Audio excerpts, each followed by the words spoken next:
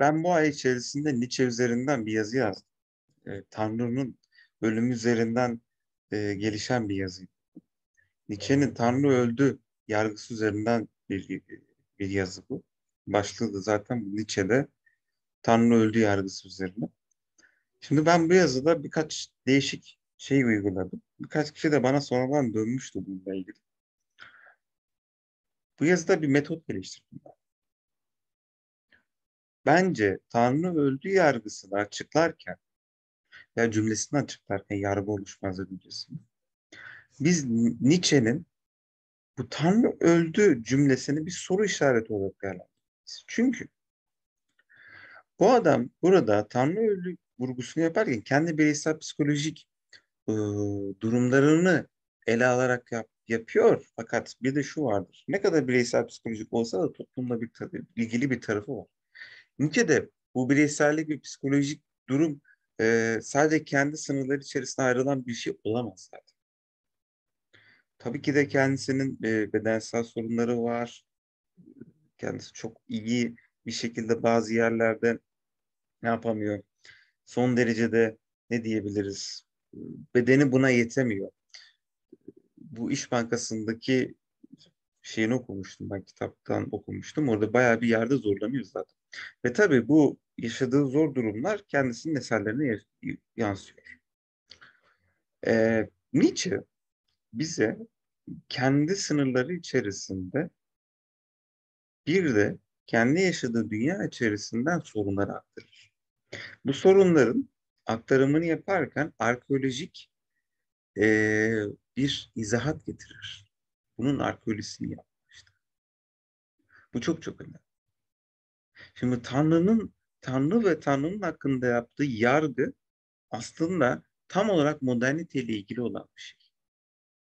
Ve bu e, bizim moderniteyi açıklarken Nietzsche'nin bu yargısı üzerinden yaptığımız açıklama, belki de açıklama e, üretiyoruz biz ama e, bir de bunun yanında e, aslında Nietzsche'yi veya başka filozofların metinlerini anlayabilmek için, böyle cümlelerini anlayabilmek için özellikle e, moderniteye denk geliyorsa, teğet geçiyorsa biz bunun tarihsel bir süreci içerisine girmeliyiz.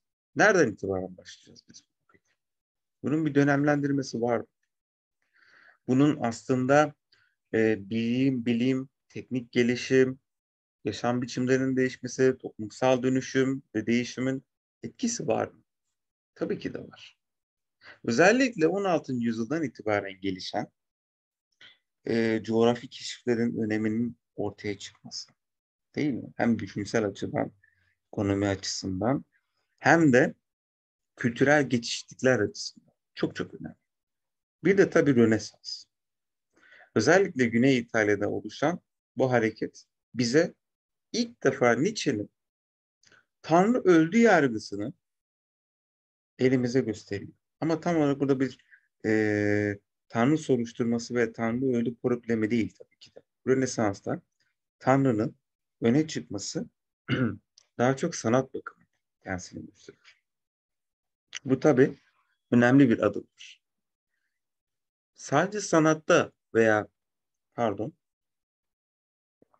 sadece sanatta veya bizim e, sanattan kastımız olarak bahsettiğimiz Tanrı'nın orada cisimleşmesi, orada görülmesi açısından değil.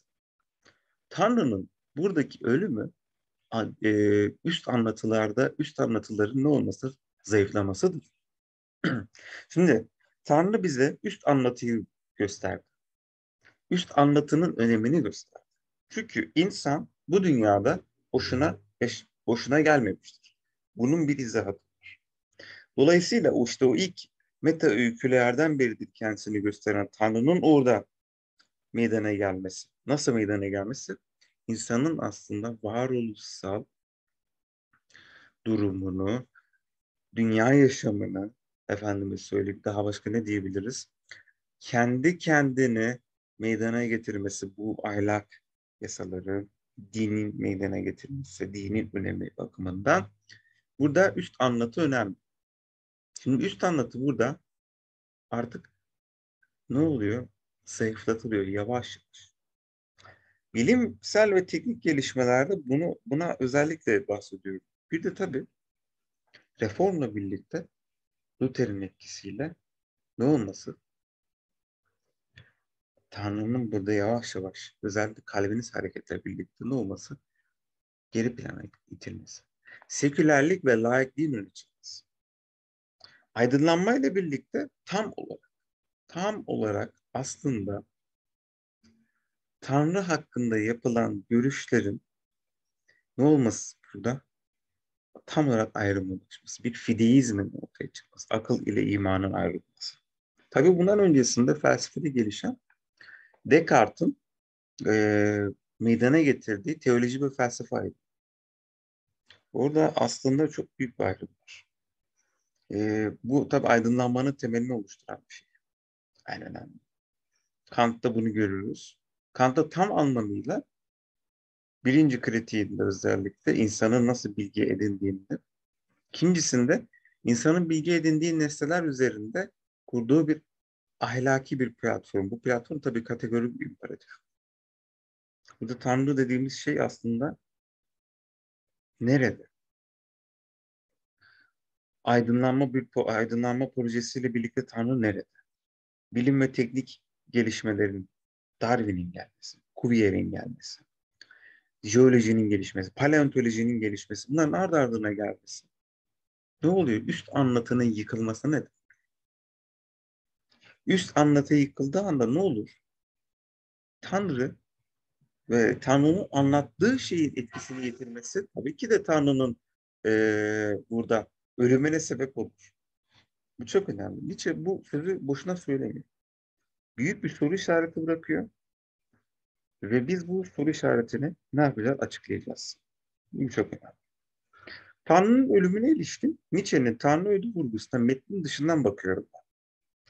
Tabii metnin dışı içerisine bakarken burada bir e, yapıdan da bahsediyor. Bu yapının aslında oluşumunu da bir metot destekliyor. Tanrı ölü vurgusunu metnin dışından e, ilerlerken tabii bunu açıklarken tarih kültür gelişimden olur. Tarihsel bir sosyolojik de bakıyorum aslında. Nedir peki bu özellikle? Maddi koşulların dönüşümü, yaşam biçiminin değişimi ve bilimsel teknik gelişmelerin oluşması. Metnin dışında yer alan ifadenin sadece felsefi kişisel yönü değil, tarih toplum olgusunda yorumun yapı mekan ide form etkinliğine göre tarihteki sürecini bütünsel açıklamayı metne yerleştirmek. Bu bütünsel açıklama değil, benim açıklama tarzımın bir bütün olduğunu e, söyleyelim. Ve bu bütünün aslında metne entegre edilmesi. Şimdi daha da iyi açıklayacağım iler, ileriki slaytlarda. Şimdi burada bu resmi özellikle koymak istedim. Şimdi Tanrı'nın burada ne olması? Tam olarak insan ile etkileşime geçmesi. Bakın o aradaki bölüm var ya boşluk. Bir bekleme, o zamansal bir bekleme.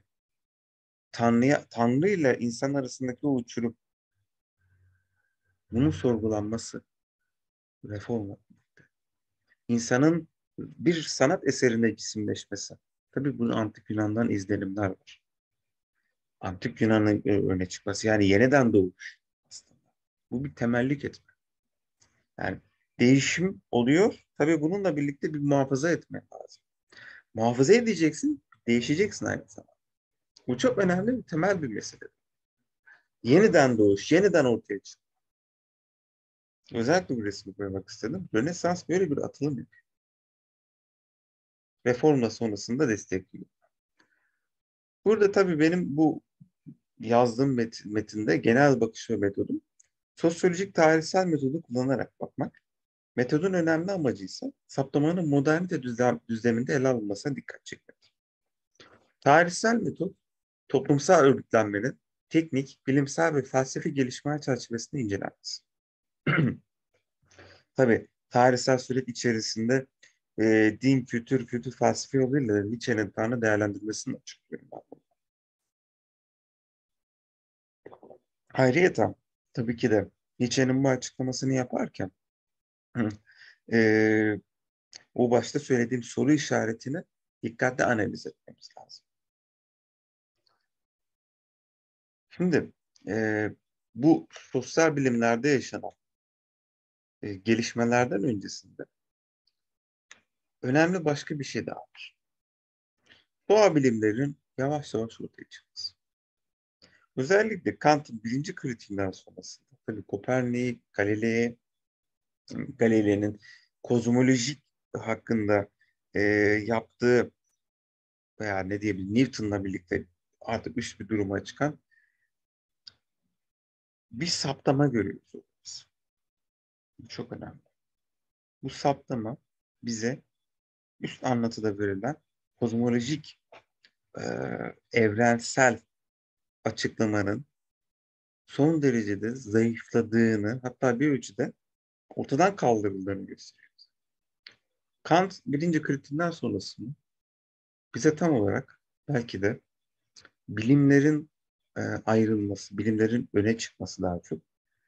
E, bu minvalde öne çıkma, bu bilimlerin öne çıkmasını ve gösteriyor bize. Artık şöyle bir şey var.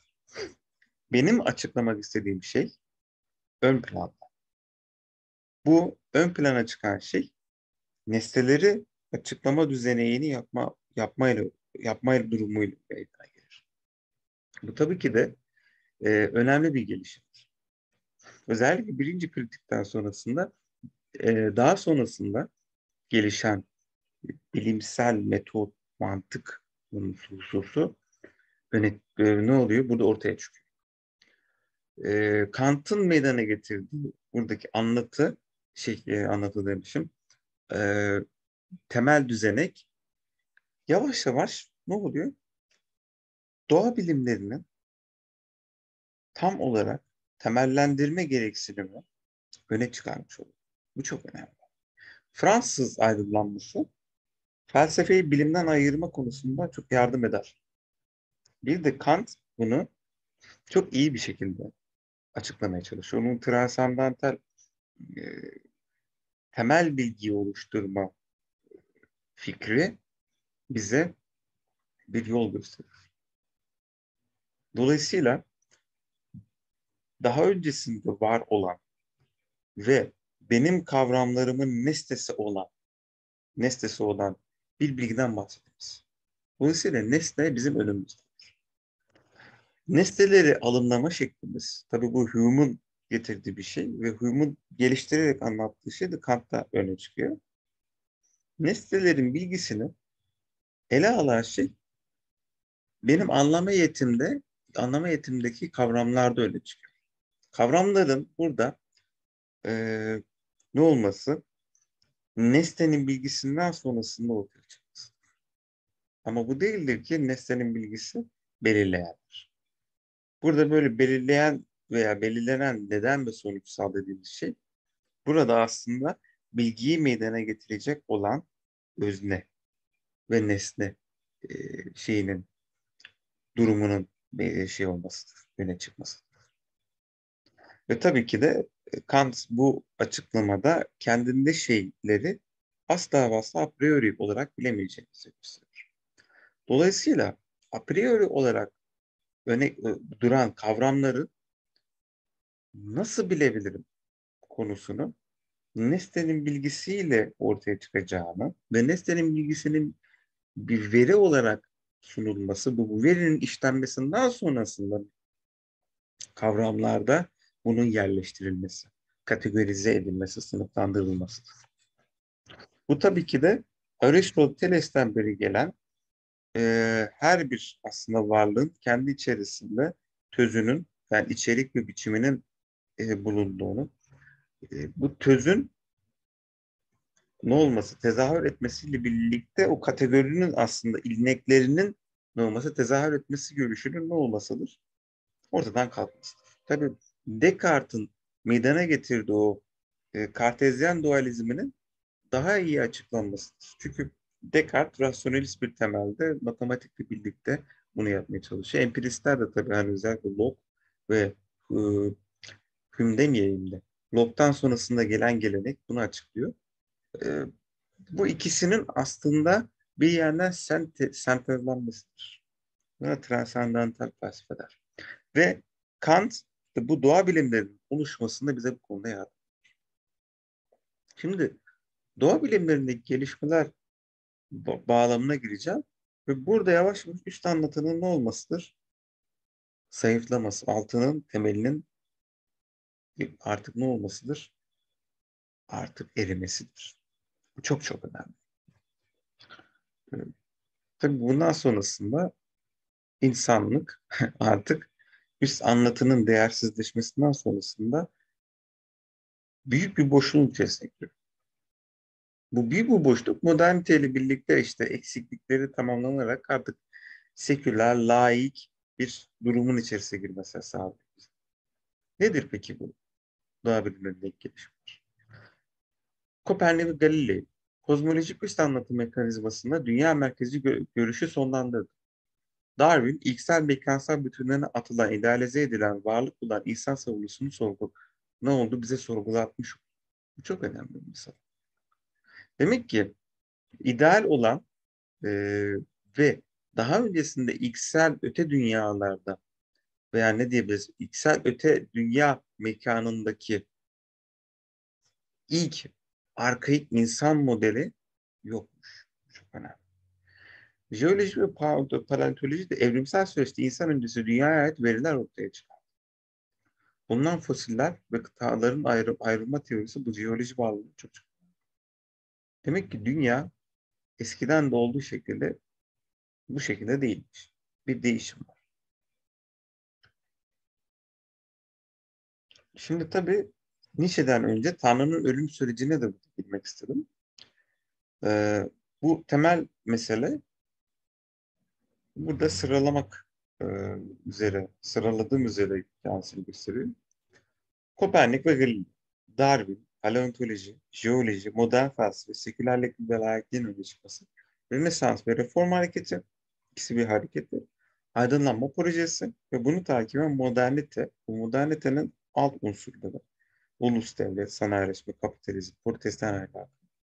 Ve tabii burada hani bilim ve teknik gelişmeyi de eklemek lazım, bilimsel teknik gelişmeleri de. Ee, onları da işte Kopernik, Galileo, Darwin, paleontoloji ve jeolojide toplamak istedim. Bunlar Tanrı'nın ölüm sürecidir. Şimdi bunları gözden geçirdikten sonrasında biz Tanrı'nın şey, Nietzsche'nin Tanrı öldü yargısı üzerine tekrardan gelebiliriz. Burada bu analiz benim belirlediğim bu metot şeklinde kendisine bakıyor. Zaten yazımda da bundan bahsettim.